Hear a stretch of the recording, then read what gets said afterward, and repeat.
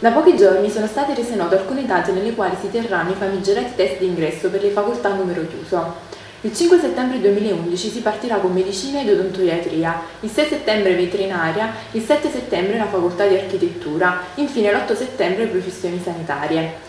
Tuttavia, nonostante siano state fissate le date, si attende ancora con molta ansia il decreto che stabilizzerà le nuove modalità di test d'ammissione. Infatti, la Gelmini aveva promesso dei cambiamenti radicali riguardanti diversi aspetti del test. Come si evince dalle date, il primo cambiamento è già stato mandato in porto, ovvero sarà considerato unico il test per accedere alla facoltà di medicina e di odontoiatria.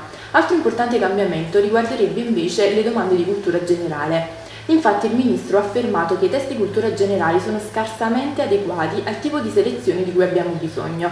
Serve più qualità, trasparenza e una valutazione effettiva dell'idoneità degli studenti. È urgente sostituirli in tutto o in parte con quesiti di natura logico-deduttiva che premiano soprattutto le capacità di analisi e ragionamento dei candidati.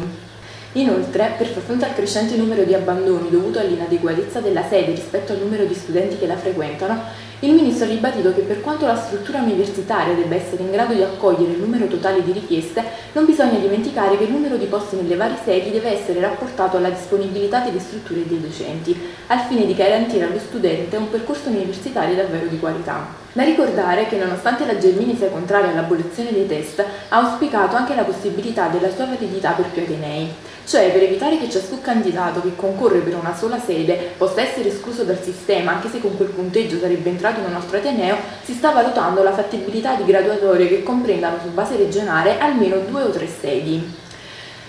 Ciò che invece non andrà in porto quest'anno è il cosiddetto bonus maturità, che avrebbe concesso ai maturanti con loti di usufruire di un bonus di 10 punti di credito per l'accesso agli Atenei a numero chiuso, che andrà invece in vigore l'anno 2012-2013.